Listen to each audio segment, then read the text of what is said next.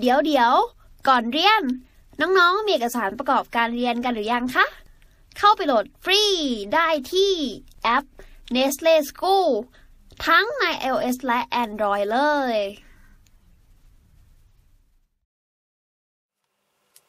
โอเค ข้อ 48 น้อง ข้อ 48 เนี่ย ง่าย แต่ ก็เรียกว่าอะไรดี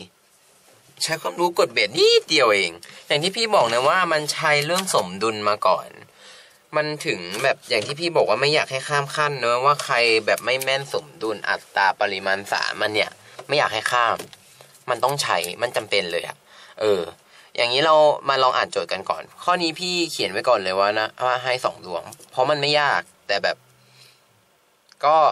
น่าจะเป็นแนวที่น้องยังไม่เคยเจอไง ปกติน้องไม่เคยเจอเรื่องสีเข้ามาเกี่ยวข้อง พี่ให้สองดวงแล้วกัน โอเค จงพิจารณาสมดุลเคมี และข้อมูลที่กำหนดให้เนาะ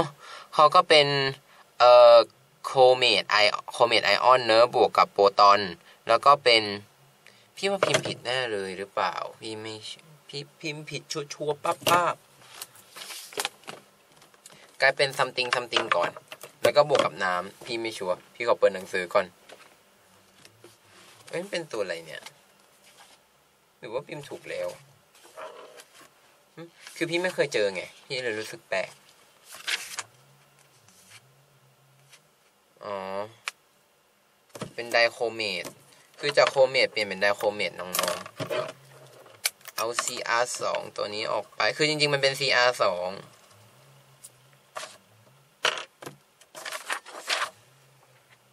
วุ่นวายโอเคครับ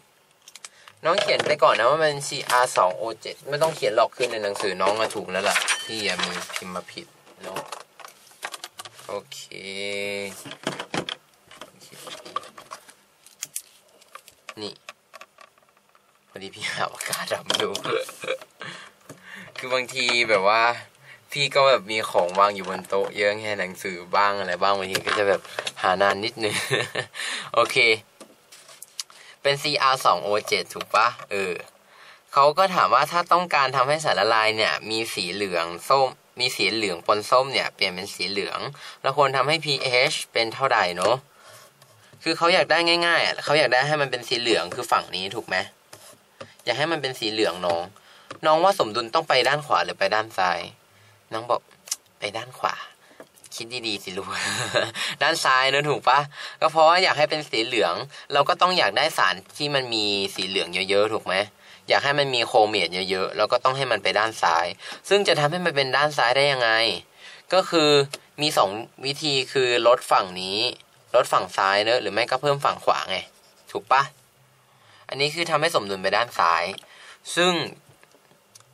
ข้อนี้เขาถามเรื่อง pH ถูกไหม ซึ่งเราต้องรู้ว่า pH ในคีย์ข้อนี้คือตัวไหน pH คีย์ข้อนี้คือตัวนี้ถูกปะซึ่งหมายความว่า เราต้องทำอะไรเกี่ยวกับอันนี้เนี่ยแหละ ซึ่งถ้า pH มากหมายความว่าเป็นเบสถูกไหม เป็นเบส น้องว่าโปรตอนของเรามันจะลดลงหรือเพิ่มขึ้น น้องบอกเพิ่มขึ้นพี่ เพิ่มขึ้นอะไรล่ะ ต้องลดลงถูกไหม เพราะมันเป็นเบส เบสเจอกับโปรตอนน่ะ มันก็เลยจะกลายเป็นน้ำคือฝั่งนี้จะกลายเป็นว่าน้ำเพิ่มขึ้นถูกไหม แล้วตัว H H โปร H บวกหรือโปรตอนเนี่ยมันจะลดลง ซึ่งสมดุลอะมาด้านซ้าย น้องง่าย ๆ ก็คือน้องต้องหา pH มากนั่นเอง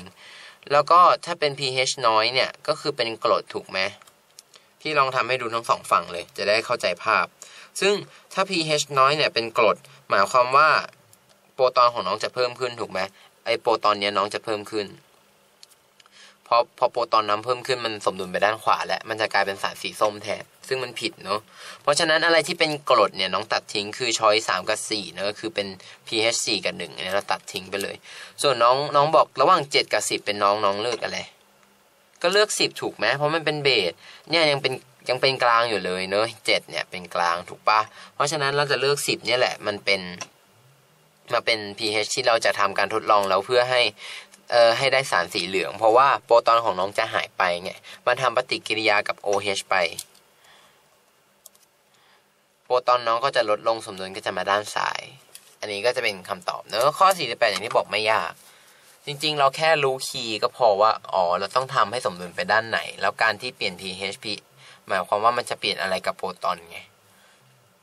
โอเคเนาะสรุปใหม่ก็คือ 48 ดอกจันไว้สองดวงเป็นแนวที่น้องไม่เคยเจอ อ่านโจทย์เสร็จปุ๊บก็คือเขาต้องการที่จะให้สารน่ะเป็นสีเหลืองหรือก็คืออยากให้สมดุลไปด้านซ้าย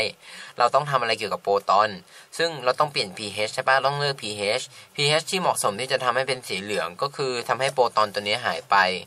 ก็คือ pH ของเราต้องเป็นเบสถูกไหมโปรตอนถึงจะหายไปพอเบสจะไปทำปฏิกิริยากับกรดกลายเป็นเกลืออะไรก็ว่าไปเนาะ มันก็จะหายไป เพราะฉะนั้นเราก็ต้องเลือก pH มากๆที่เป็นเบสก็คือช้อยหนึ่งนั่นเองคือ 10 เพราะถ้าเราเลือกที่เป็นกรด P เอ่อตรงโปรตอนนี้เราจะมากขึ้น ซึ่งมันจะไปสมดุลจะไปด้านขวาแทน สารจะกลายเป็นสีส้มเนอะเพราะฉะนั้นที่18ตอบข้อหนึ่งนั่นเอง ไม่มีปัญหาอะไรครับผมไปต่อกันเลยเนอะข้อถัดไป